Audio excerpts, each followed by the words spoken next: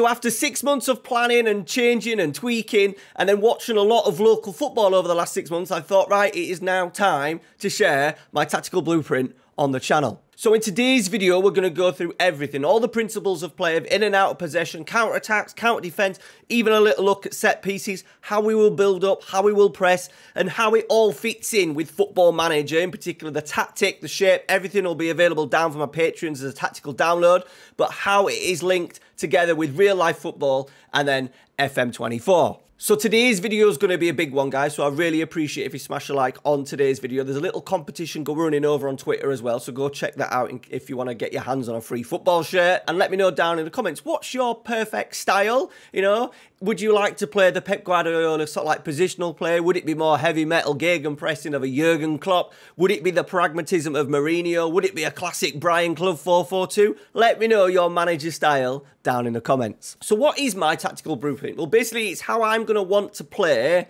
with a team if I go back into football managing in sort of like the local area. Eight years now without without being part of it, and I'm kind of always missed it, but it's getting to the point now where we may be able to dive back into it over the next six to 12 months. So, for people that don't know, I started coaching as a 16 year old, sort of like managing a couple of local junior football teams, and then at the age of 19, I think it was 2005, I then started managing my men's team, which I'd only been playing for for about a year. Managed to break my back in the October of that season, and that kind of pushed me even more towards not really playing and concentrating on coaching. And then over the next eight years, managing managing my local team, it was all mates. It was sort of like beer, football, and mates. It was an absolutely brilliant time. However, in 2013, when I started working in my current job where we have this brilliant, fantastic new 3G pitch, I decided to merge my men's team with a local struggling junior team and merging them together to create hopefully like a local player pathway. If you're familiar with my videos on the channel, I always talk about a player pathway from sort of like 19s to a B team to the first team, like I'm what I'm doing currently in my Malaga save on the channel. And I wanted to create that. Now, at the time, I was co coaching three year olds, I was coaching juniors, and I was coaching seniors. So the idea was that I brought them all together so there was a local player pathway for children to progress all the way through from men's and then even to vets. Really successful period. We managed to get promoted.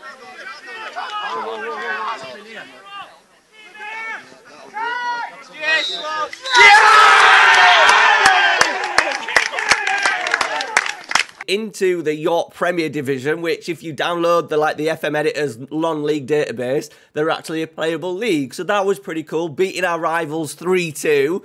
I think with two games to go at their place to secure promotion was pretty special over that three year period as well, I think we grew the club from like eight junior teams to 20 junior teams, three men's teams, a women's team, and a veterans team.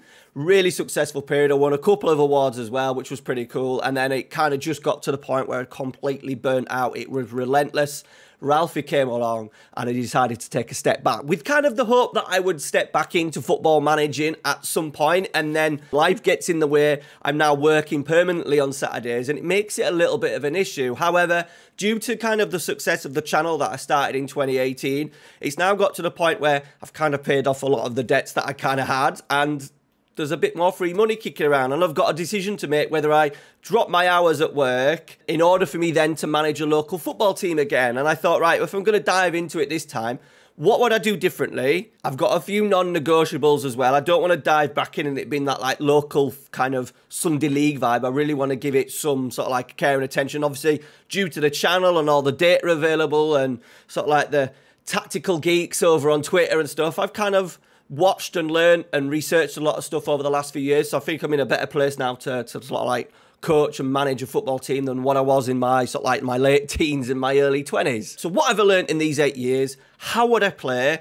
Remember, we're trying to fit this to local league football. I'm not coaching Manchester City. We're going to be coaching a local league side. And how I watched them and the league that they're playing recently, how I think we can kind of exploit weaknesses and make us stronger in certain areas where teams are kind of kind of weak. All right, so we're going to talk about the local football, the standard, the conditions that we have, how I'm going to set them up, the shape, and everything. This is the blueprint. Let's go. All right, okay, so I think it's quite important to kind of give you an overview of sort of like the local football in our area. Not so much the leagues, but kind of like the standard and what I've noticed and the strengths and weaknesses, more weaknesses and then how we would potentially look at counteracting some of the weaknesses, some of the systems that the teams play, and then how that then looks in FM.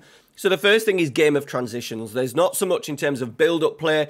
It's all about getting the ball forward quickly, not always long, but very quick, very high tempo. And because of the lack of kind of technical quality, possession numbers, you're looking at maybe only three, four, five pass, pass sequences before it either goes long, goes out of play, and there's a and then there's a break up in play. So a game of transition. So we need to kind of think of how are we going to deal with that when we win the ball, and then at the same time how we deal with that when we lose the ball in particular. A lot of our stuff from this, I've kind of realised it'll be the work we do out of possession rather than in possession. I think it's going to be quite hard to build up kind of a brilliant like Roberto De Zerbi kind of building up from the back, really patient style with the technical, not with the, yeah, with the lack of, you know, we're comparing these to professional footballers, so the lack of technical qualities. So a lot of the things we look at will actually be our out of possession principles. As I've mentioned, a poor quality in general possession, so having this slow build up, which I can remember doing it at times. You know, the pitch that we play on and played on in the past is a 3G pitch where I work at the school that I work at. It's about to get relayed next year, so the playing surface is absolutely brilliant, but you also need those technical players. I will mention as well, it's a huge pitch and it'll have red lines across to separate the thirds, so we can have three thirds for training. Um, the third, the lines that run across the third are actually going to be a really useful tool for when we're pressing and having pressing triggers. But generally, yeah, passing poor quality in general possession. There's not much in your teams are often quite flat, rigid shapes. So making possession, so making possession often quite square, and then losing possession plague often going long. So we need to think of, you know, what can the team do? We're not going to try and build out and have these really complicated patterns. We want to create some build-up patterns, but it's all got to be really simple.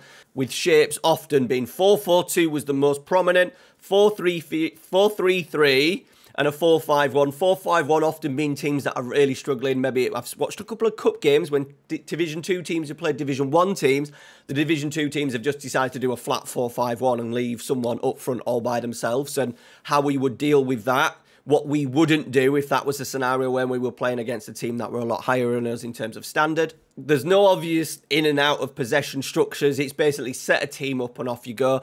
There's a lot of not so much coaching on the sidelines. It's more managing and shouting and you know the general. You're not talking kind of reactions and stuff. And that's no slight on all the managers that give up their time at weekends and stuff. But I think that's definitely something that we can focus on in terms of exploiting teams' weaknesses. And a lot of success teams actually get exploiting gaps between centre halves and fullbacks, exploiting spaces in wide, not wide areas, but down sort of like the half spaces for generally quick strikers to beat slower defenders. There's not so much in terms of really nice, pretty build up. Crosses into the box, yes. However, I haven't seen much quality in terms of crosses into the box and headed goals, percentage wise, is really low.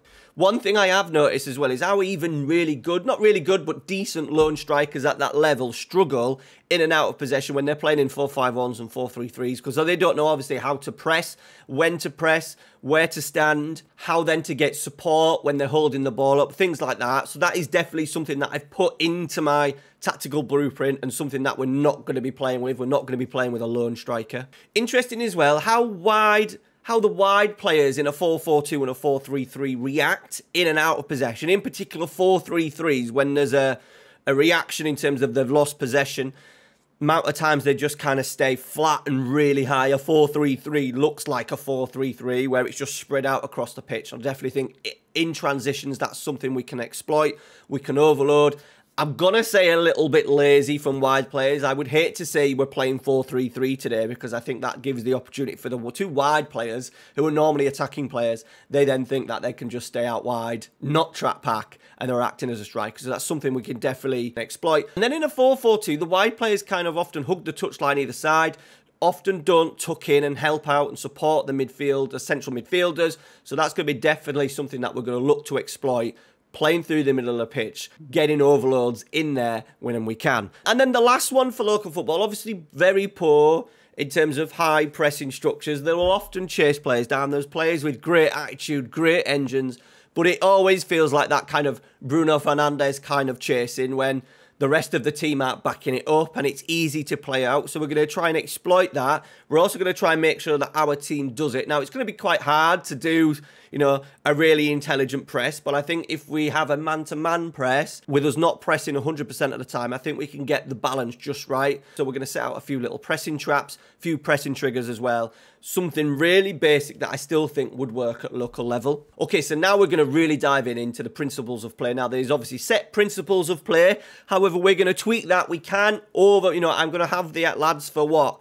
An hour a week, potentially maybe an hour before kickoff, an hour and a half before kickoff to kind of get things in. There'll be a, obviously a really important part of a pre-season, but generally we're not going to be able to focus on loads of different aspects. So I think there's going to be key aspects from each part of principles of play that we're going to try and incorporate into this team, into this setup. So there's obviously in possession, the out of possession stuff, counter attacks and counter defense for the transitions. And then the last two that I'm going to focus on at the end, just so I can show you in FM, is how we set up for set pieces, attacking and defending, and how I think that would work at a local level. Okay, so moving into the in possession stuff, I think what we're going to try and do is move the ball vertically quickly through the thirds. We're not going to try and overplay. We want the passing to be quick. It's even kind of like a little bit of a Red Bull style. So I've been watching a lot of stuff, in particular over uh, Julian Nagelsmann's Hoffenheim before he went to the Leipzig kind of model. So we're going to do a little bit of a hybrid between both. He was obviously high pressing, but we're going to do it a little bit differently. Obviously, everything's going to be basic. There's going to be a couple of little movements and stuff that strikers and central midfielders are going to do, holding midfielders. But generally, we're going to try and move the ball quickly through the thirds, in particular when we play at home. The pitch that we'll be playing on is massive. It's probably the biggest pitch in the league. It's flat. It gives us the opportunity to move the ball along the floor. Obviously, we're not going to be able to break teams down with a beautiful tiki-taka kind of positional play style, so we still have to have that direct element.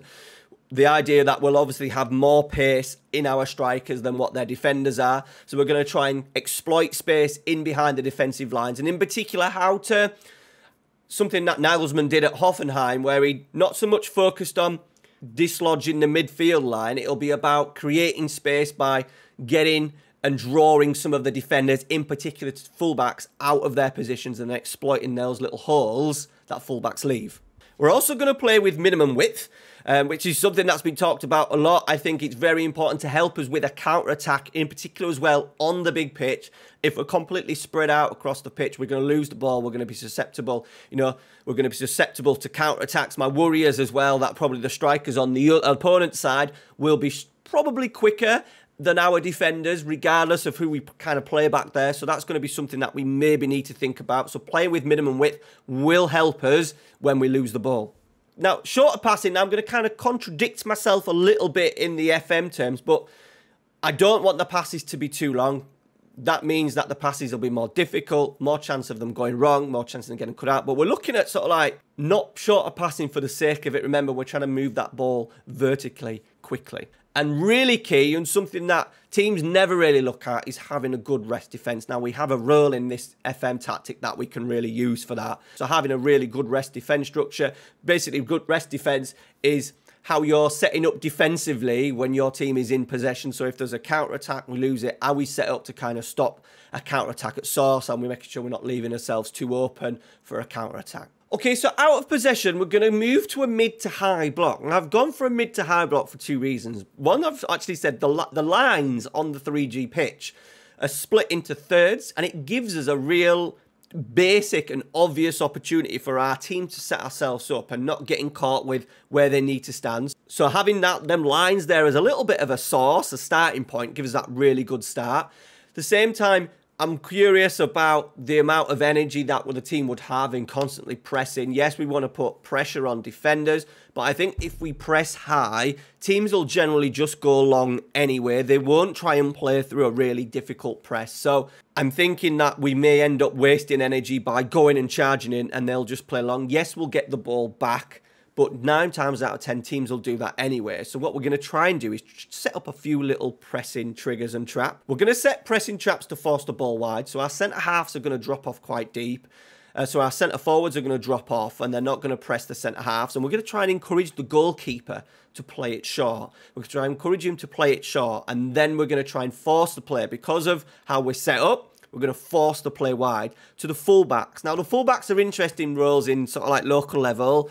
Often the weakest in terms of technical ability. They're often not strong enough to be centre halves, and they're not technically, most of the time, good enough to be attacking wide players or central midfielders. You know, you do get those odd carrots, and the team that potentially I would look at maybe working with, they actually have one really decent fullback. However, generally, we want to force the ball to like the Aaron Wan-Bissaka of the team. So we're going to do that. Compactness is going to be absolutely key. A lot of the times, as I said, 4 3 3s, uh, opponents are always spread out across the pitch and it's really easy to play through. So we're going to get in and be as compact as we can. So that'll be a mid block with kind of a high line. It, nearly like an Arrigo Sacchi kind of style of play where we're really condensed in the middle third of the pitch. And then when we are pressing, we're going to have this pendulum effect. We are playing with wing backs, so when the when we're going to encourage our wide players to really go and engage, depending on the system and the shape, we really want them to go and press. So the pendulum would work where a wing back would go out. Our centre half, because if we're going to play with three at the back, we're going to have that space in those channels. So we need to stop that. And by stopping that, we have the pendulum effect where if the left wing back goes in, the centre half moves across, the left centre half moves across to like left back, right back and the centre back move across to be a back, sort of like an, a, a back four, with then the wing back dropping in and then like vice versa the other side. And that will just keep us blocking spaces for those quicker centre forwards to exploit. And also, I do think the pendulum effect the way to press like that, I do think I can probably get it working at a local level. And then in transitions, one big thing, um, York City actually, the York City manager that got sacked in the summer actually spoke about it a, a lot, was in transitions when attacking, securing the ball first. I think at times when they get it, you're counter-attacking, the first thing is to play it long, and we waste the ball in possession. So what we're going to try and do is secure the ball first, and how we do that's going to be interesting. Trying to get a couple of maybe two or three safe passes in first, and then we look to break either with a dribble. I've got my two centre midfielders. Hopefully, will be two players that can dribble and drive the ball up the pitch. Working with our two centre forwards to be in a position where they can get into dropping a little bit of space and hold the ball up with that first safe pass rather than looking at exploiting, you know, channels and balls over the top as soon as we win the possession of the ball. Box occupation is absolutely massive. So when we break, we break aggressively. We're going to be playing with wing backs, so making sure if the ball's on the left, the right wing backs getting in there, the two strikers, the midfielders. Obviously, we need to focus on that rest defence, but getting bodies in the box extremely important when we're transitioning. Can we break? Can we overload our opponent's defence? And then in defence, our main focus will be how we react often when teams lose the ball, yes, you kind of get it with the person that often loses the ball. You will see that natural you will see that natural counter press from them, but it's what the other players do. How quickly they react. We want to be compact, so we're going to really focus on just a simple structure of squeezing the play and coming in really narrow, and that will help with our counter pressing because we are going to counter press. I think it's a natural thing for players to do rather than regrouping and getting shape. If you lose the ball, you want to get it back, and it'll be a focus on how quickly we can get the ball back, and at the same time, can we counter press initially for those first few seconds? Can we win the ball back quickly? Can we stop a counter attack more importantly? So, how would the team look? This is it. It's a 3 5 2. I'm a big fan of 3 5 2s, always have been. Like the Inzaghi tactic recently has highlighted a lot of awesome things. Now, we're not going to do that. We're not going to have roaming centre halves. But however, I think we can use the three centre halves in build up a little bit and to give us that kind of classic overload. Obviously, playing against a 4 4 2 a lot of the time, we're going to have that 3v2, 4v2, if you include a goalkeeper. Would say the goalkeeper who plays in the team that I used to manage is exceptional with his feet, takes free kicks, takes penalties in penalty shootout, really comfortable on the ball. He's not the he's not the fittest. He's not the fittest in terms of goalkeepers, but someone that you would definitely use. He could easily spray a ball out to a left wing back, a right wing back, and he's comfortable really progressing the ball. So something that you could so something that we'll be really able to work on in build up. So the so the main reason why we've gone the 3-5-2 to give us that overloading defense, it also stops those counter attacks down the channels. If we're holding three players back there, it allows our wing backs to get further forward and then we shuffle across. Obviously, if a left full back goes forward, we often find as well in teams and in what games that I've watched, when fullbacks go forward, the centre halves often stay really central. They don't. They sometimes bring in a right back, but they always leave gaps down the side. So that's something we're going to try and plug, and we can plug it better and more quickly if we play with a three at the back. Also, then it gives us that overload in the central area of the pitch. I've talked about the kind of the lack of quality generally with fullbacks and how they kind of play. You know, there's no young Cancelos, there's no Dalot coming into midfield and things like that. It is often standard, stay wide, support the centre halves, support the wide players at times. So I think we can get around that by having an extra defender in and an extra central midfielder in. We've also spoke about delivery into the penalty area as well. So we're going to really focus on quality and going through the thirds, staying really compact. A lot of the play, build-up play, comes through the thirds anyway. A lot of transitions in that middle third, and as you can see, three centre halves, three central midfielders in there, two attackers, wing backs tucking in when we can and making it extremely compact. The main, so the main centre half, the middle one, will be that probably that classic centre half that you find in local league levels, maybe potentially a little bit older, maybe probably not as quick as some of the others, maybe the captain, a little bit of a leader, basically in there to make sure we're nice and set. He will he's he will help him build up. He will play the ball simply. We're not asking him to spray 50 yard passes. We're not potentially looking at a libero. You know, that is something that a lot of teams are doing, especially De Vrij at uh, Inter often moves in. Acerbi often moves into that central area. Manchester City obviously do it a lot with their central their centre backs moving into midfield, John Stones, etc. We're not going to do that. He is going to be that old school centre half. But that then freezes up with the left centre half and the right centre half, and in terms of what we can do now. I'm toying with the thing of sometimes in maybe in some games we have to go really solid. If we're playing against a real physical side, we may have to play three maybe classic centre halves. We may look at potentially. I did say one of the fullbacks in the team that we have is pretty good, very physical as well, so he could do a job. We might even look at bringing a fullback, you know, so so a technical fullback may work. We may also look at bringing a central midfielder in, playing in these wide areas, these wide centre back areas, maybe a little bit fitter than that classic centre half who maybe play that middle role. Someone who can potentially carry and play with the ball. Now they're not going to be ball playing defenders. We're not going to be looking for those long sweeping passes, but we do kind of want that Sheffield United wide centre back role on both sides. The DM's an interesting one. Basically, there to hold on to the ball, not get too far forward. It, I think the role in terms of FM would change. Ideally, at the start, I've put it as an anchor, but I think depending on the opponents and if we're dominating games, potentially looking at a regista, a deep lying playmaker, potentially. We don't do a halfback because we've got that back three in.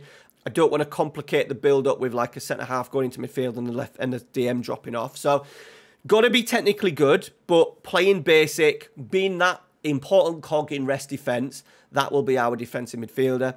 Two wing backs, really aggressive. Highly likely these will be attacking players that are extremely fit. I'm not looking at trying to convert fullbacks into attacking players. I'd rather try and convert attacking players, wingers, wide players into wing backs. They will be extremely high in possession. They will occasionally have to drop in. So when we're without the ball in maybe our own half, we will drop into a really compact 3-5-2. So it's very important that they have the buy-in with it. You know, if we're trying to convert a right winger into a right wing back, that potentially might be an issue. And they've also got to have the physicality and the fitness. I think it'll be very important. Our substitutions, our subs that we have available to us, I think we can have three from five. Having at least one player who can go in and act as a wing back when these players inevitably will tire. The two central midfielders, I've swapped around with the rules a little bit in terms of FM, but I do want them to be two really aggressive, not ball winning eights, but great physicality, great Great dribbling for that standard, and then having the ability to break into the box. Box to box midfielders, central midfielders on attack if we're talking FM24. The two strikers, we're kind of going to go with two nines. Now, I do want one to be a, very much like a target forward, a target man on attack alongside a strike, alongside the classic number nine. I want them to drop, drop in at times, what we'll talk about, but also working channels, pinning the two centre halves. But we need a little bit of movement from one of the strikers. We often get two strikers, if they're not of that physical profile, we still want one of them to drop in and create space for another striker or for a central midfielder to go into. So we need to get them working in tandem. Often strikers don't work together. In particular, teams that I've watched, the workers too as very much individuals. When one goes short, one doesn't necessarily know when he needs to go in, and we need to get that right. I think once again it can work. It's just a couple of real simple, simple movements. I think there will be a lot of stuff, in particular before games. My idea would be to set up like this, before the away team arrives and do a lot of sort of like 11 versus 0 shadow play and just do when this goes there, you need to drop in. When this goes there, you need to drop in and just set a couple of basic movements for those strikers to work on. Okay, so how would we build up in possession coming against? I'm going to show you 4 4 2 first and then a little bit out more out of possession and stuff with the 4-3-3, kind of covering both bases. A lot of the times we will play teams 4-4-2. So Obviously, we have that initial overload in the centre of the pitch with the goalkeeper as well. So we've kind of got a 4v2. So we don't really need our DM and our wingbacks to really get involved in initial play of build up. One of my non negotiables will be that we don't have to build up, but we're always going to show like we're going to build up because what that might encourage is trying to bait the press that Brighton are trying to do often, where they keep the foot on the ball. With the goalkeeper will have possession of the ball. We may even start, now we can't do it in FM, but we may start with one of our centre halves starting with the goal kick and giving the ball to the goalkeeper and trying a bit of press out, maybe with the two strikers. So the first thing I want my two centre halves to do is to drop off. Can they drop off into pretty much the six yard line? Really short. In I think in the day we used to have them outside of the box. Remember, if you wanted to build up from the back, and that meant that first pass out into sort of like the wide areas was really tricky. Something that encouraged a press a little bit more and was easier to press because the passing distance between the goalkeeper and centre half. So we can do that, and I think we can do this no problem. So we've dropped off, and it'd be interesting. Uh, at the moment, I'm unsure of what the strikers will do, and I've kind of given us two scenarios to give to our players of what we would do if the strikers jump or not jump. I think generally a lot of the time they will jump. There may be a point in games where they say, right, we're getting played around, we won't do it. So we need to come up with two scenarios if they do jump and press and when they don't. Then, if the keeper does start with it, we've got three options. I'm quite happy to do a little bit. If the centre half does come into the area, I'm quite happy to do a little bit of a bounce pass. Maybe he stands on the penalty spot as well, just to give us a little bit of a, a start. You know, it might be just into the centre half, bounce pass back to the goalkeeper, or play out to our wider centre halves. And then just a couple of little passing moves. It may be a case of wing back dropping off, passing the ball to the wing back, and then the DM, you know, the DM's movements are going to be a lot of lateral movements from side to side. I really want him to be support. We want to create as many triangles on the pitch. You know, the amount of triangles we can potentially get on the pitch with this system is absolutely massive. We're not going to try, you know, a lot of teams at the moment are focusing on wide diamonds. That's an extra player, an extra complication. But if we can get these little triangles in here, that will help us shift the ball up. You know, there'll be that press from the other team, but it'll be quite delayed and will give us the opportunity to maybe not do things one touch, but I think be able to do things two touch. And one thing that we'll have to focus on in these scenarios is body shape and where we pass the ball and passing the ball to the safe side. The amount of times that I see players giving the ball to a player, but not thinking about how that player is then going to protect the ball. So that's something that we're definitely going to work on, passing the safe side of the of the defender. So just a couple of here that we could do. The goalkeeper, obviously if the two strikers look at pressing wide players, we could potentially just progress the ball through the middle with the centre half. But we're looking at working with a, uh, one of the wider players, the DM, and a centre back. And it might mean that the, the right wing back starts really high and then drops in as, as the play starts. That could be a little thing we could play on. And then generally I would expect I'm going to get my two CMs to kind of move out the way and take their two central midfielders out of the way. Can we get the DM going? And get him free as much as possible. I do want that DM to be quite technically gifted at our level. Yes, defensively going to be okay. But if you think of Inter Milan, yeah, we're not Inter Milan, I know, but Hakan Calhanoglu is doing a tremendous job playing as a DM and sitting and holding because we want the ball ourselves. So having someone of the local level of Hakan Calhanoglu, someone who's really comfortable in possession of, once again, I've got an idea of a, a lad that could do it no problem. Not the fittest, but tremendous ball player would definitely able to move that ball from side to side. So having these little movements to free up and then the DM is free and then we can exploit, you know, if a central midfielder comes out, we can we can then play around them and we've got that overload in the middle of the pitch here as you can see it would pretty much look like what a 5 a 5v4 in the center of the pitch. Another option as well depending on what we kind of notice the strikers are doing we could get the left and the right centre half to kind of pull the strikers away a little bit if they kind of follow them into the wide areas. Can we play here? So can we play to the centre half? And once again, he could potentially turn and play to the DM. Can you know the goalkeeper would be more than comfortable playing a 20 yard pass? My only little worry is that that DM pass might be a little bit too long, so we'd have to be careful of getting once again getting those centre midfielders to take their centre midfielders away and really opening up that space in that third there. So there's a couple of little things that we would do maybe against a 4-4-2. How we would do it in a 4-3-3 would be a little bit different, or a 4-2-3-1. So obviously you would imagine them to go generally man for man. Um, not once again, not quite sure what the wing backs and the sorry the two wingers would do for the opposing side. So we're going to go on the basis that they're going to press high. So an option would be obviously start the centre halves in again. We're going to then have potentially the wing backs free, open to receive a pass. I imagine the fullbacks will stay quite deep. So we'll get the, the wing backs on our side to drop in quite deep, not to not to then attract sort of like the interest from the fullback.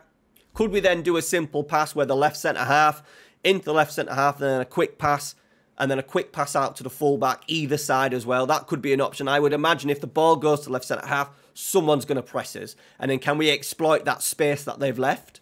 as well, if they do decide to press high, what we could do is draw out the, the, the wingers, their wingers, and then our goalkeeper maybe even has the potential of drifting, lofting a ball out wide if they're going to press us quite high and we maybe kind of suck them in, bait the press a little bit, maybe play our, our defenders in more wider areas, opens out a space to playing into a, a fullback, uh, one of our wingbacks, sorry.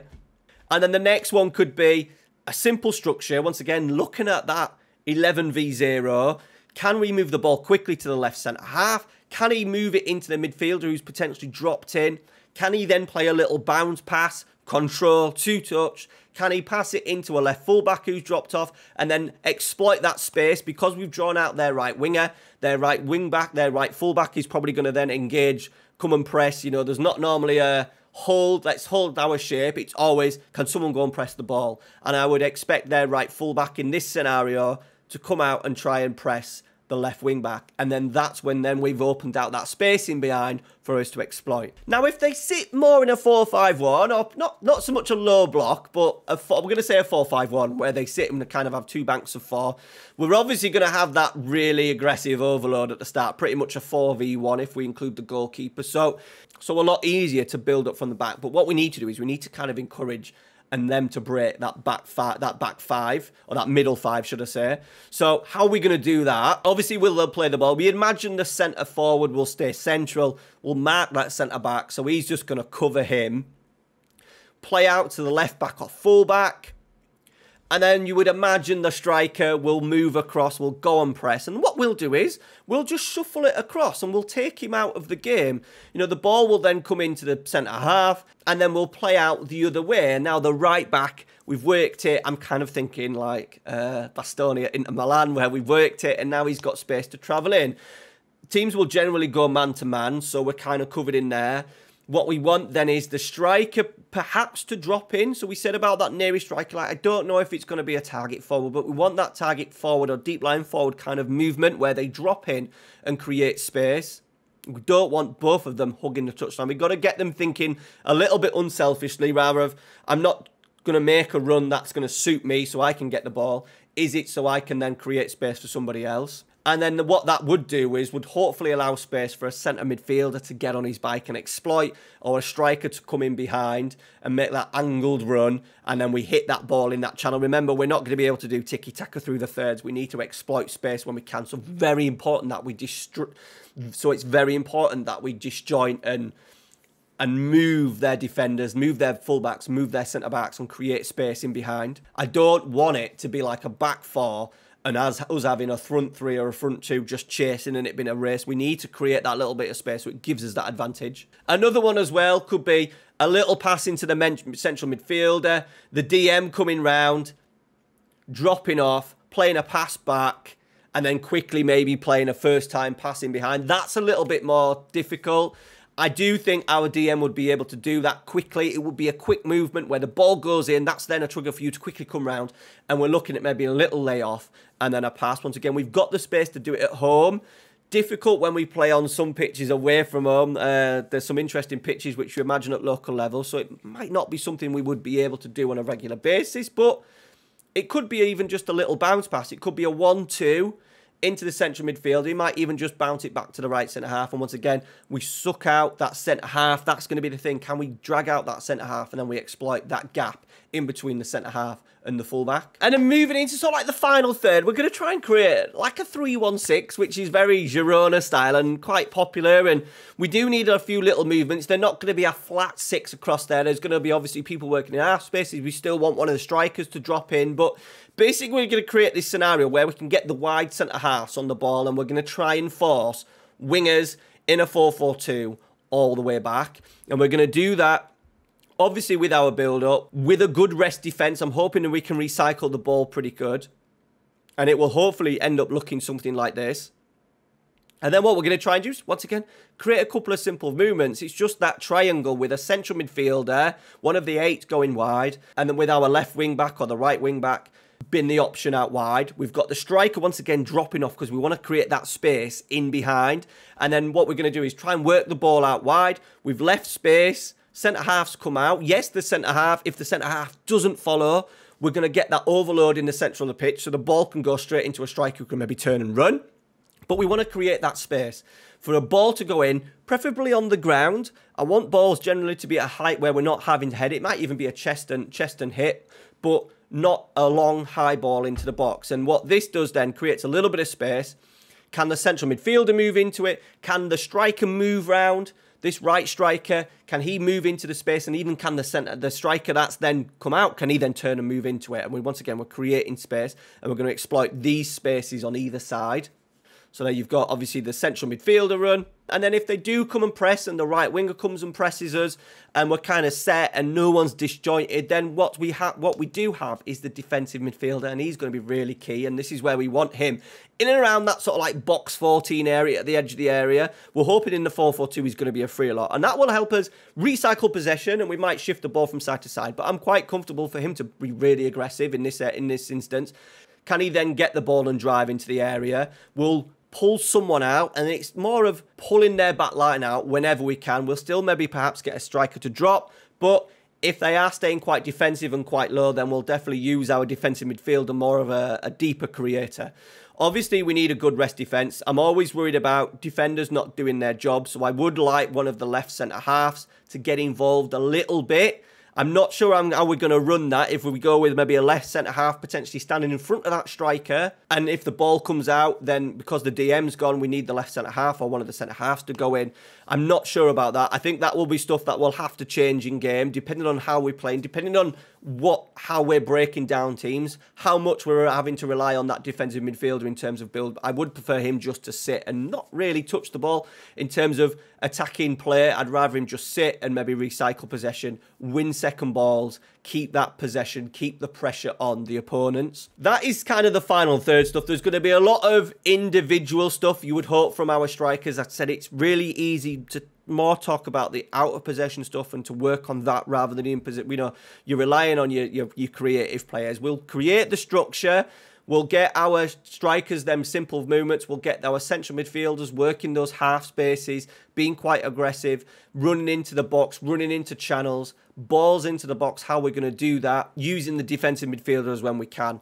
But generally, that will be left to the attacking players to be creative in their own in their own way. We're not going to be able to kind of improve them at a, a higher level in terms of their technical ability. So just a couple of movements, a couple of little patterns might just help us and let them know and, and, and let the players know what we're trying to exploit. So our possession, we're going to look at playing against the 4-3-3 first and how we're going to do it with their build-up. Now, I'm not sure how often this is going to happen. Goalkeepers often go long, but what we are going to try and do is we're going to set some pressing traps. So I'm going to get my two strikers to kind of be the only players in that attacking third. Remember, we've got those red lines that I've talked about, and that will be a, a starting point for us all. We're going to have the team squeezed quite high. And what we're going to try and do is encourage the goalkeeper to kick kick it short, play it short. Now, obviously, if it goes long, we can't do much about it. We're going to make sure that we're nice and compact, as we spoke about. But what we're going to try and do is encourage the ball to go to the centre half. We're not going to press that centre half. We're going to remember we talked about the, the technical qualities of sometimes fullbacks. Also, teams, even though we're outnumbered a little bit out wide because of that pendulum effect that we spoke about at the start, we can move across and we can cut out the line pass. So we're going to use that defensive line as a bit of a trigger as well. It's an extra defender is the touch line. So we're going to force that ball out to the fullback and then we're going to press. Now, it's a case of who's going to press. And in this, and then playing against this 4-3-3, I really want the left wing back to go and press the full back. I want us to be, as you can see, really nice and compact. We're not going to worry about, you know, if the ball goes back to the goalkeeper and it's shifted out the same side, we're going to shift. But I really want our right wing back to be engaged and play. Don't worry about what's going on with their left winger. We're going to probably deal with that. If he wants to stay, obviously we've got the left winger here quite central. If he decides to stay out right out on that left hand side, then so be it he can go out on that left hand side and we'll deal with that. You know, we're not going to generally, there will probably be a goal during the season that we'll concede where a ball is switched by the right back and it goes out to the left winger and he goes and scores. But generally, that will not happen. So we're going to leave him out there. We want to be nice and compact. And then what we are going to do is go and press with the left wing back. We want the two strikers working together. We're going to shuffle across, as we said. So, like the left centre half is now looking like a left back. We've got the back three in. And then the wing back, I'm not that bothered at the moment about bringing him in. We may have to at some point, but I'd rather him tuck in to make a little bit of a 3-4-3 out of possession with the with the press. We may, as I said, with that pendulum, there'll be at times in particular when we're playing defending in the final third, we may have to bring him back in and we'll we'll speak about that more in sort of like deeper, sort of like in deeper opposition build-up.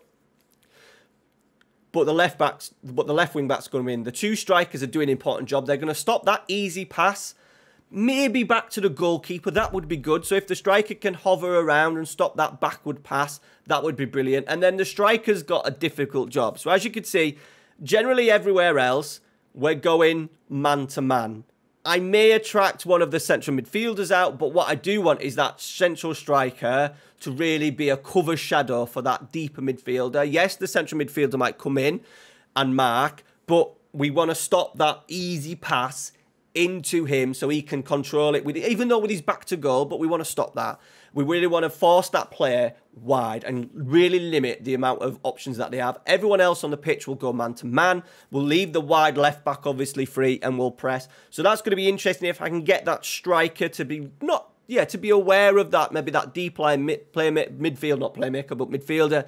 Teams sometimes do play a basic flat 4-3-3, which then would mean we'll go right really aggressive in terms of our man-to-man press. And yes, we've spoke about a man-to-man press in the opposition, but our man-to-man press would be a lot more structured, a lot more practiced. They're going to be really aggressive, really tight. No fouls. We're going to let them make the mistakes, playing with their back to goal. From this instance then, from this instance then, I imagine the right back would probably go long. You know, there's not going to be much in terms of build. If he decides to play inside, absolutely brilliant because we've got that overload in there. We're really tight and really aggressive, and then we'll break ourselves and counter attack. The 4-4-2 is a little bit different, and we're going to have to then use our strikers, I think, a little bit more depending on what the wing backs do, the, depending on what the wingers do, I think we're going to do the same thing where we're going to encourage that ball to go out to the fullback and our two strikers then will go and press. So the striker, one of the strikers will go and press the fullback, the other striker will then come in and support, stop that potentially that ball going backwards. We want to force that ball down the line. I imagine the left wing back will be a little bit deeper might even look like a flat five at times, depending on how high their wingers go, but we'll do that. I think it's important to go man for man, so the two wider centre halves maybe mark the strikers, and having our one of our defenders free, hopefully our backup defender or even one of the wide centre halves who can maybe cover if a ball's going in behind. Our goalkeeper will be extremely attacking. He like stands on the edge of his area, so hopefully we can sweep up long balls. But we may get this scenario here where we once again we move across the left winger will probably tuck in a little bit, and the right winger will, and our right wing back will tuck in, and we'll make another back four. That pendulum effect once again with our wing back tucking in and our left back going and pressing, being really tight to their right winger. Once again, we've got that overload in midfield. I'd probably prefer my DM to be quite deep. Can we force the ball potentially into the central midfield at times? I think what I'll try and get my strikers to do is probably cut that option out and we'll get them to play down the line. But there will be times that we don't cover that space enough and the ball will come inside. So if that's the case, we have got a 3v2 in there ready to pounce. Now, I do expect teams to kind of do the Eric Ten Hag. We'll do it for a little bit and then we've lost two goals against Brentford, so we'll just start kicking it long. I imagine that will happen a lot. So that's why that compactness of our team would be super important. I do also think if teams are going long, having three centre halves as well, really key in winning those duels when balls are played, then 50-50 balls are played up, and then a really important job of our defensive midfielder to try and pick up those second balls. And then when we're defending deeper, it's important we're going to get that pendulum effect in. So as you can see, we're playing up against a 4-4-2 at the moment. The right wing back's tucked in, makes the back four. We're going to expect the left wing back to come out and press maybe a full back. And then what we've got is our defenders moving across, defenders moving across to make that back four really compact. The, the key thing that I want to really focus on is a bit like our what you would call our rest attack with our two strikers and how we're going to transition and making sure that when we do win the ball, our first option is just not to kick it long and to chase the channel straight away. So I want in my centre, my two strikers to help out. I want them potentially to drop off a little bit because we want to exploit this area here when we do win the ball. So compactness is going to be key. Force to play out wide like we did in the uh, sort of like the deeper press, so the sorry, the more advanced pressing. Keeping that midfield really tight, no space no space for them to attack down the middle. We want them going down the line because I don't think the quality of chance that they'll create out wide is going to be key. We're going to have three defenders in there, probably even four defenders in there. And at the same time as well, one of our non-negotiables will be we stop crosses. It's a very an old school approach, um, but I think having our wing-backs, centre-halves, whoever goes into these wide areas, stopping balls coming into the box will be an absolutely key part of our game. Getting that ball, keeping that ball out of our box. Okay, so we want to exploit this this bit. So we want to exploit this here. So we're asking our strikers just to drop in a little bit. Can they drop in? Their two, their centre halves will either do two things. They will either they will either drop off or obviously will go in really tight and we can work around that either way. If it is a case that they've come really high and pressed, they're leaving that space in behind. So it might be when we win the ball, can our free man, the defensive midfielder, be the key? He's going to be the absolutely key part when we win the ball. Can he get the ball and then play? And it might be a case of, remember I said about securing the ball at the start? We want to make sure that we get a couple of passes in. So it might just be, if the left back wings it, it might just be a simple, it might open up that he can do a clipped ball in behind. The, the right back might be out the game, might be on the floor, and we can drive and we can dribble.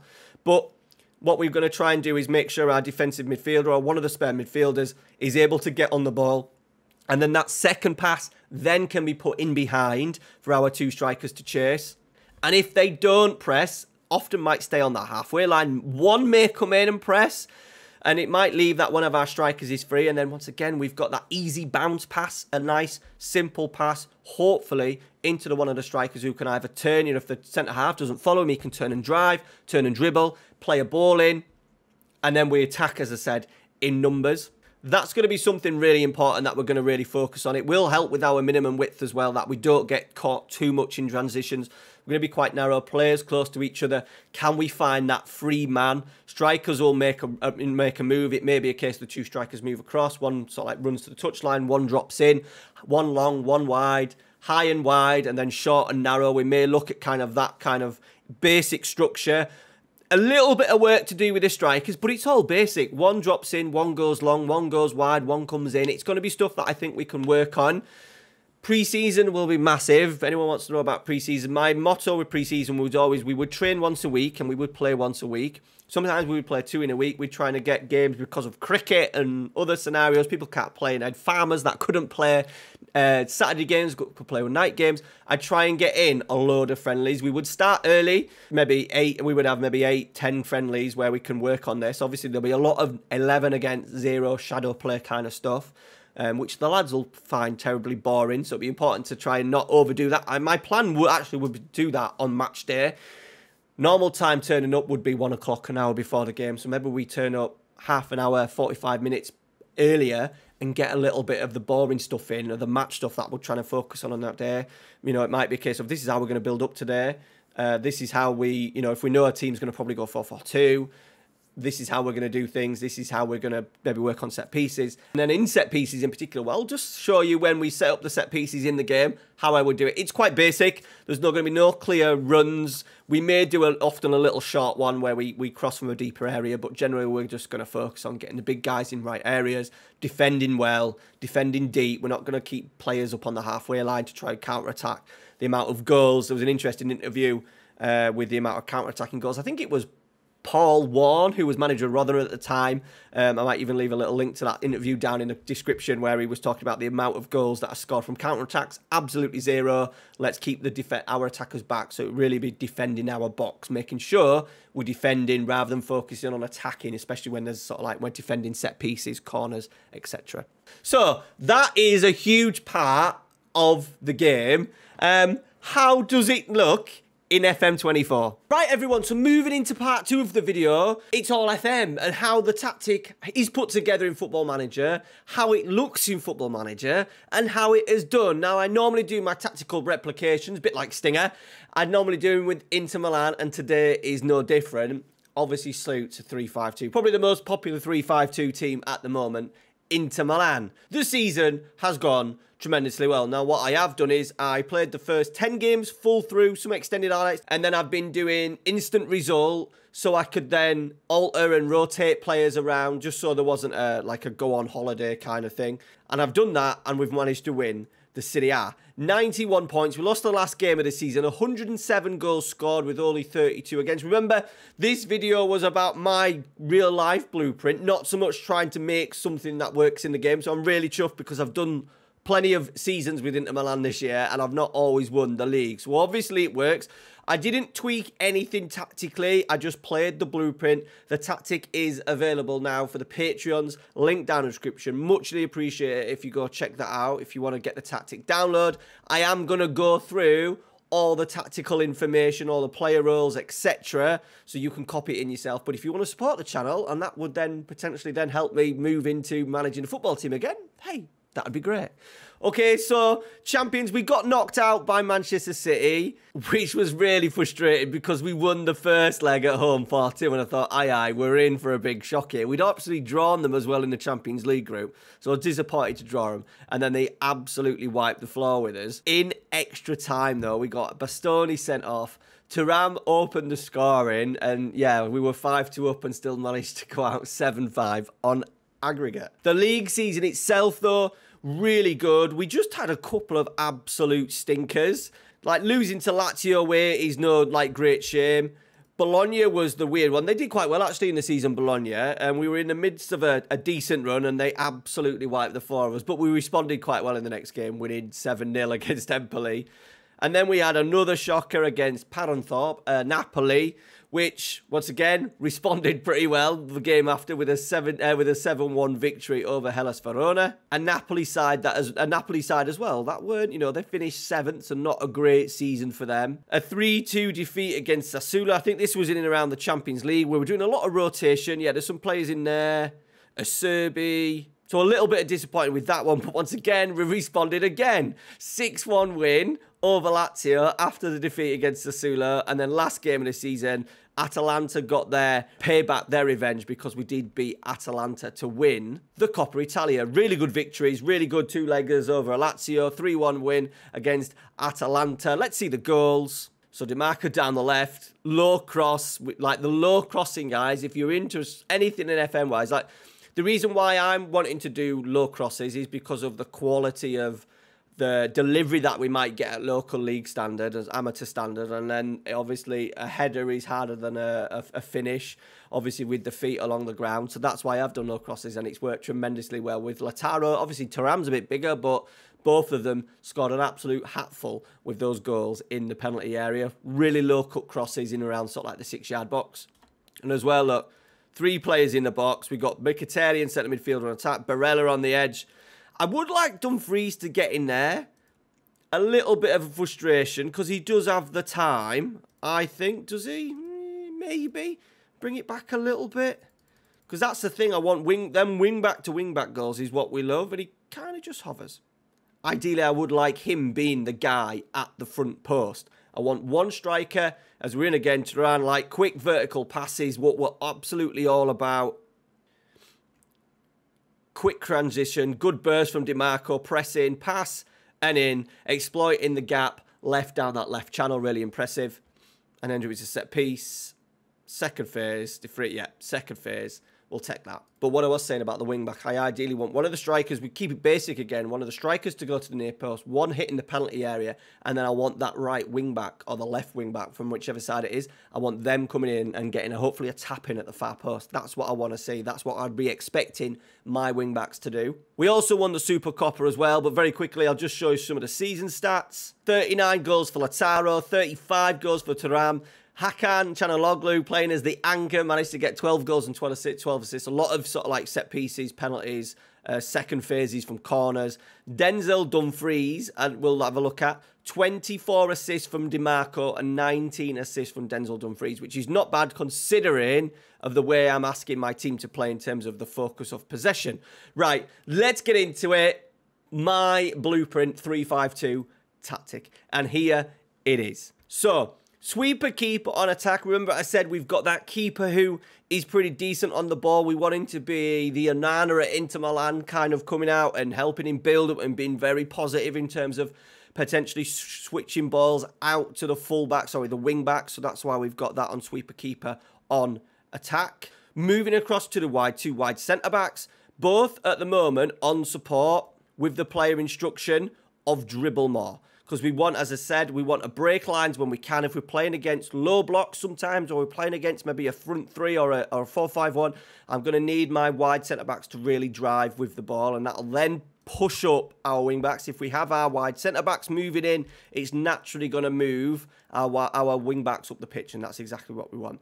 I will probably occasionally, probably depending on the personnel of the team and the opponents, we may often change that to a defence and then at certain points in games, I think, especially when we're maybe playing against a 4 5 1, I might even, you know, put one of them even on attack and get them being so aggressive on one of the sides to really force the play and try and bait out maybe a press against a low block. We'll still have two defender, two covering defenders in the other wide centre back. So that's an op- that's a potential change that we tweaks in game that we may make. But right now, wide centre back on support both sides. The middle defender, remember, we wanted that, as I said, that kind of old school defender. So we've gone central defender on cover because we want to just cover any, you know, we don't want that flat back three. We want a little bit of depth in the team and it also helps with build up a little bit as well.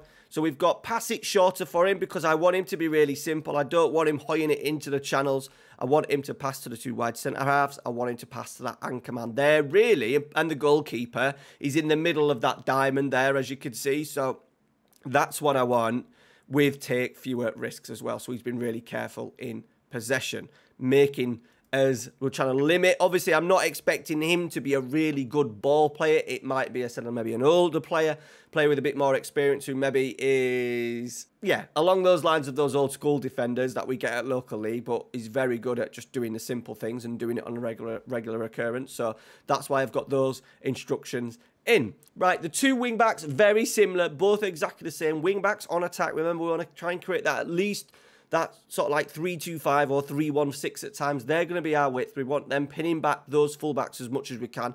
And we've also got Mark Tighter on as a player instruction for both sides. The reason why we've done that is because we want them to really press and be involved in those trigger presses and then them trigger and then pressing traps that we're going to set up. So having them mark tighter and being really aggressive, maybe on wingers and even fullbacks at times, that's why I've got that on. And then moving into the number six, I said we've gone for that anchor role with ease off tackles. Now, as I said, depending on the opponent, I don't really want a deep lying playmaker.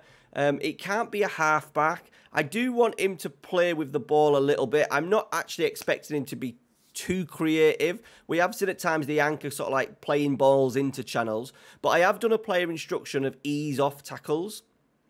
And the reason why I've done that is because ease off tackles ask players to consider the ramifications of an aggressive missed time tackle. Instead, will encourage them to pick their moments. So basically, I'm just making sure that he doesn't dive into tackles and get himself taken out of the game. I'm really conscious that if there's a counter attack, if he if he's out of the way, he's gone and pressed too quickly and gone and dived in. We're going to be our back three is going to be exposed, and I really want him to be the anchor. Um, at times, I haven't changed it in the in the season that I did with Inter, but there is a thing that because of the player that I kind of have in mind and the play and the kind of player that I want. I don't want you to think an anchor is in an absolute, you know, water carrier kind of uh, Makelele. I want that that anchor to be someone who can can break up play a little bit, but have the quality to keep things ticking. Remember, he's going to be reliant on not so much been the creator, uh, but been the ticker where he gets the ball, he, he get the ball off the goalkeepers that we set off in build up and get the balls in these sort of like wider triangles or diamonds if we've got a wide centre back, a, a wing back, him, and then maybe a central midfielder or even one of the strikers coming in to make a diamond. So, yeah, that's one of the reasons why we've gone with an anchor. Maybe a regista. If we're playing against a team with a really low block, a regista would be absolutely superb, especially for the Inter Milan and Hakan Calhanoglu. So quite comfortable, depending on opponents, etc., to change that up to a regista. Moving into the middle two, we've gone box to box midfielder. I've got him stay wider and tackle harder. I want the two eights to be really aggressive. Remember, we want them to be in these half spaces, so that's why I've got stay wider on, and obviously tackle harder because I really want them being aggressive in that counter press. And on the left hand side, just someone who's going to get forward a little more. I want him to be a real driver, not so much a creator, but someone because we're playing on this really big pitch that we have the 3G pitch, I really need at times a ball carrier from middle. So I want that guy to be someone who's confident enough to get it. He's got the opportunity. He's going to drive forward at the same time, staying wider in possession, helping out the wing backs as well with those stay wider because they can get a little bit isolated. So just a little bit of an option to maybe pull the ball inside. And then obviously, once again, tackle harder because we want them to be so aggressive out of possession. Into the front two this could be a deep lying forward. Obviously, the, the target forward is very much based on personnel, and you know the guy that'll have to be target forward me would have to be six foot plus and can run a little bit. So you know that is a little bit of a niche, a niche one at local level, a target forward who can run. But in an ideal world, it would be a target forward, someone who can leave the ball, leave the line. And I've got moving to channels. I said I don't want him to be like the Jon Parkin. I want him to be really fluent in his movement and helping, you know we get to break so good because these players are an option in the wide areas. And it's the same with the other side. We want, obviously, the advanced forward will do it. Now, we don't want the advanced forward having to do both sides. We want to be able to take it in turns to work the channels, and then the other one can hit the box. The advanced forward, no player instructions for him, just the bog standard, number nine. Probably a little bit of pace can find the back of the net. Right, we've got positive mentality Right, the in possession, we've gone attacking width fairly narrow. Remember, we want to be, we're trying to not force the ball through the middle, but we're looking at having that overload in there with the three centre halves, the three midfielders, the two strikers. So a lot of our time, especially when we're playing on that big pitch, we've got to have a little bit of space still to play through the centre of the pitch. So that's what we're going to do. So we want also as well with the fairly narrow. Now, even though we're in talking about the in possession stuff, the fairly narrow is going to help us with our transitions our counter pressing and enabling us to uh, re- react. Remember, I said one of the key things when we lose the ball is how a team reacts. And normally, at our standards, local standard, it can be quite poor as a team. I said individually, it works quite well. So to counteract that and to make it a little bit easier for us to react better, if we can keep minimum width, one of those Red Bull kind of styles where we're not overly wet, overly wide. We'll have the if the ball's on the left, I'm quite happy for the wing back to be kind of tucked in that like sort of like that half space rather than staying out wide. Then it makes it a lot easier to counter press. So that's why we've got fairly narrow on. Passing to space, yes, we want to be direct. I really want to see those strikers sort of like moving into channels. I want to see balls played for a central midfielder or a wing back to move into. Slightly more direct passing. Remember, we're not ticky tacky in because I think we tried. I've seen teams try and do it, and my old team tried to do it after I'd left, and it was so slow. And they did three or four passes, and as I said, there's possession standards are, generally okay for them to progress up the pitch. And once there's a little bit of pressure, they tend to, know, it only takes a bad touch, half a bad pass, and they've lost the ball. So we're quite clear on having those two strikers as well. Can we get the ball forward in them? Can we pull out maybe a fullback and exploit them spaces? In behind. Higher tempo, yes. I think it's a natural thing at local level to be all blood and guts and thunder. You know, the slow, patient tempo is not going to suit local level. It's going to be, especially when we play on shit pitches, I'm going to expect us to probably play even a little bit more direct at times, really squeeze and be really aggressive in possession. And then time wasted sometimes, I think it's going to be important for us just to take a breather, have a rest, play the game a little bit carefully when we can, especially when we get our noses in front. And all the other stuff, oh sorry, final third, low crosses. Not of an over-reliance on hitting the crosses earlier, don't need that. We want our wing-backs getting nice and, high, nice and high and cutting the ball back. Play for set pieces I've left off. However, if it turns out that we've got a real physical side, like the two eights, two strikers, three centre-halves, then we would definitely play for set pieces. Everything else is left off. In transition, Counter press, yes. Remember, we said we want that reaction of squeezing. I think that's very important. Luckily, we said we get it individually anyway. We're generally when a person loses possession of the ball. Nine times out of ten, they're really keen to get it back, but we want to do it as a group. So we're going to counter press, and then we're definitely going to counter, especially with those two strikers and those little couple of little spaces that we might leave with fullbacks. We really want to exploit those wide areas where fullbacks have maybe moved up in possession. Goalkeeper, he is a sweeper keeper on attack, so he'll naturally go along at times, but when we can, we want to build with that back three. We've got that back three in there for a reason in possession. We've got that natural overload, either a 3v1 if they're playing with a 4-3v or 4-5-1, or a 3v2 if they're playing a 4-4-2, we've also got the goalkeeper in there to add as maybe a 4v2 or uh, even a, a 4v3, depending on what they're doing. Out of possession, there you go, mid-block. So he's done quite well, a mid-block in FM. Remember, what I want it to be compact. The goalkeeper, once again, I keep mentioning, really good off his line. He always has a really high, he's quite aggressive but he, he, he, does remind us that sweeper keeper will sit on the edge of his box, edge of his D, and will come out and sweep up most things. So high line, mid block, slightly more often trigger press. I've just left that standard. I've said we're trying to create that mid block. I'm really going to be keen on trying to get the two strikers to be clever in their runs and not to chase for 90 minutes. All right, they're going to pick and we're going to force that ball out wide, as we said. Step up more. I want us to be really aggressive when we can. Can we camp in that opponent's half? I, I do think generally teams will struggle if we can really force the play and camp teams in. Very much like, you know, you've seen Manchester City, Inter Milan have done it very well recently where they're really camped in that opponent's half. If we've got the opportunity to do that, we will definitely do that and make it really hard for them. They're going to counter. They're going to have to counter from the edge of their own box rather than sort of like 40, 50 yards out from their own goal. Trap outside, yes, we said we're going to force. I'm going to show you how I'm going to set up the uh, trigger presses in a minute trigger presses. So we want to trap outside, force that play outside, use the touchline as an extra defender.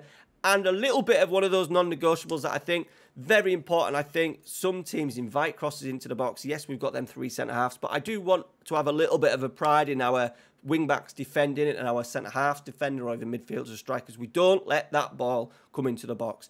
Very rarely will a team at our level if a cross is about to come in, turn and then recycle and go out the other way. It doesn't happen that much. They're normally quite direct. If they want to put a cross in, they will try. So we're going to try and stop that at source and not allow balls to come into our box. Right, the opposition instructions. This is what we're going to do. Work with it together. Now, what we are going to do generally is never trigger press the goalkeeper. I don't want that at all.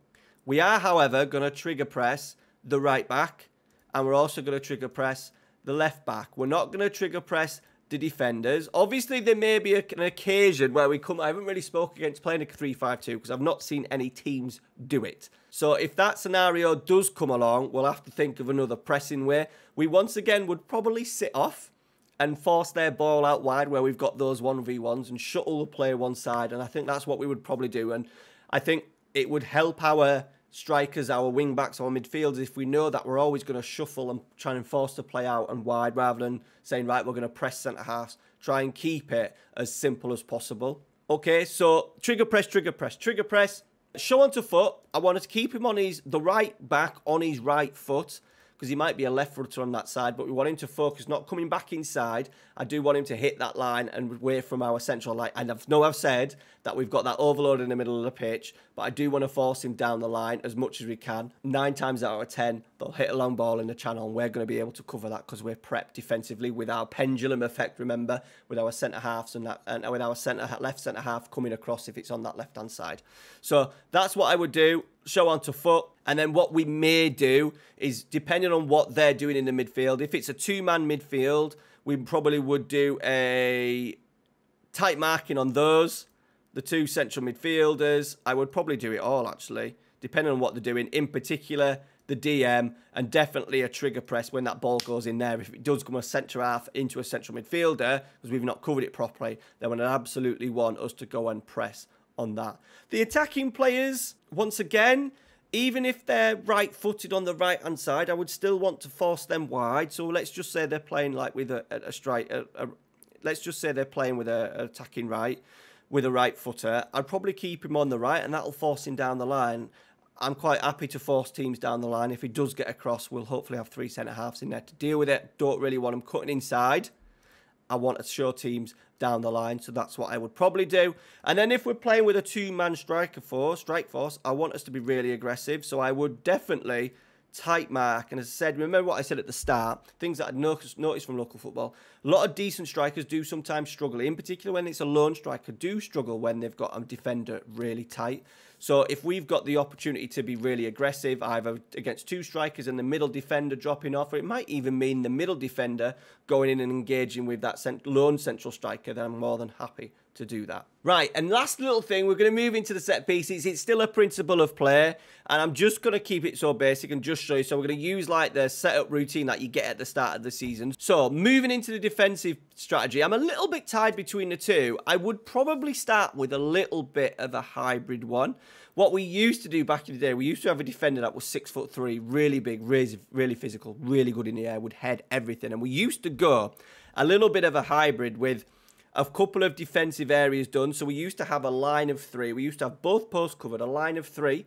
And then we used to leave him free. We used to bring back the strikers. He didn't do the zone and he didn't do a man. He just started in around the six yard box and just tried to attack it regardless. It was so successful. I can't get it obviously to work. I think for now, because we might not have that profile, I probably would do a little bit of a hybrid where we would have a line of three, post met, and then the rest would mark, and I would bring back the strikers. So we'll go hybrid, both posts, and then we would go defend the box. Said there's that video about Paul Warne. Is it Paul Warne? Not Shane Warne, definitely Paul Warne. The uh, ex now Derby manager was at Rotherham. He had fans moaning that he was bringing too many players back for corners. Like we're not going to, we even though we want to counter attack, I wanted us to be really condensed and attack and defend that box. How do you prefer the ball to be delivered from attacking set pieces? It's going to be difficult because of the quality that we may have from set pieces. But what I am going to do is go near post. We'll create a couple of little bit of routines. I, what I was planning of doing is just getting my big guy, my biggest guy, to be in and around it and see if he can either attack it to nod it in or even just to help it on so we can get maybe a flick on and then someone tapping in with that second ball maybe at the back stick. So that's what I would do. And then once again, we would be aggressive the other way around. I think the chances of a team countering against us regularly over the course of the season is really low. So we would go pros, more pressure on the opposition defence, more chance of winning the second ball, which is crucial, more exposed to counter attacks. But you do need, with counter attacks, you do need that quality, especially from a corner. You know, you're going to need two or three really good passes probably from get from one end to the other. Are the opponents at a lower league going to be able to do that, especially when it's defending their own box? Potentially not. So we'll be really aggressive. See if we can get people second balls in and around the outside. One of the cons as well is requires quick recovery runs from our defenders. Obviously, we would make sure that in and around the area, we'd have players probably with pace or wing backs, potentially a striker, depending on the height. If it's an advanced forward who's maybe only five foot nine, five foot eight, highly likely he'll be pulled out of the box because he's not going to be much of a threat with balls going into the penalty area. And then this one's a little bit awkward because it needs to be an in-swinger out. So I would prefer an in-swinger if we're imagining that near post ball with a, with a defender on it. I would prefer him being able to help it on a little bit more naturally with an in swinger rather because if it's an outward swinger, he's going to have to adjust his body to kind of flick it to the back stick or flick it in. So I'd prefer it to be an in swinger so he can kind of just help it on its way. All right, that is it. I really hope you've enjoyed it. It's been, as I said, a long time in planning and thinking and tweaking and changing. I'm and hopefully it comes across as something that you've enjoyed and you know never you never know one day I may be able to implement this into a team and if that is the case and the Patreon and the channel keeps growing and I make that decision to go back in I will hopefully definitely hopefully definitely share my kind of my journey my tactical things will be the idea will be trying to get that little bit of equipment that we can video games and stuff but it's something that I really want to do at some point in the future. All right guys thank you very much for watching. Smash the like on today's video and uh, yeah we'll see you later. Cheers, guys.